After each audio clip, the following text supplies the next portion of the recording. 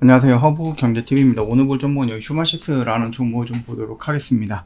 자, 일단은 오늘 시장에서도 일단 버티는 모습이긴 합니다. 물론 이제 4% 정도의 음봉을 보여주긴 했지만 그래도 뭐 추세가 무너지거나 그런 거는 아니거든요. 나름 좀 잘 버티고 있다라고 좀 보시면 될 것 같아요. 어차피 우리가 예상을 했던 거니 올라갔을 때 60일선 라인에서 저항은 한번 나온다라는 거였잖아요.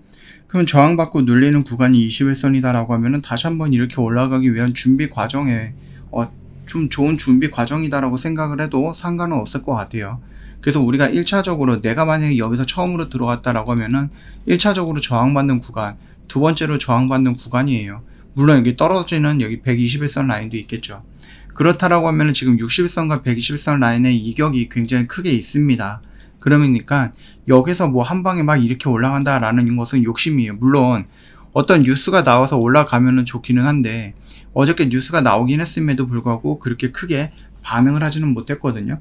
그래서 만약에 뭐 2차 전지 신사업으로 진행을 한다, 진출을 한다, 라고 했을 때 제가 생각했던 양봉보다는 적게 나오긴 했어요. 뭐 그래도 일단 추세가 이렇게 우상향으로 돌리겠다라는 의지를 보여주기에는 충분했다라고 좀 판단을 합니다. 그래서 올라가고 여기서 저항받고 눌리고 지지받고 다시 올라가고 저항받고 눌리고 지지받고 그리고 나서 올라갔을 때 이 120선을 터치할 가능성은 있다라는 거예요. 그러면 당연히 눌리는 구간은 여기서 지켜주고 다시 한번 여기 121선 라인을 돌파하는 이 영역까지 온다라고 하면 아까 뭐라고 말씀을 드렸죠? 어저께 이 영역에서 여기까지는 이격이 있기는 하지만 그 이격의 매물대가 적다라는 거죠.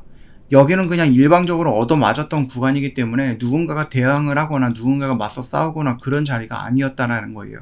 그렇기 때문에 여기에 있는 이 하락 구간은 쉽게 돌파가 나온다라는 거죠. 여기는 쉽게 먹을 수 있는 구간이다라는 거거든요.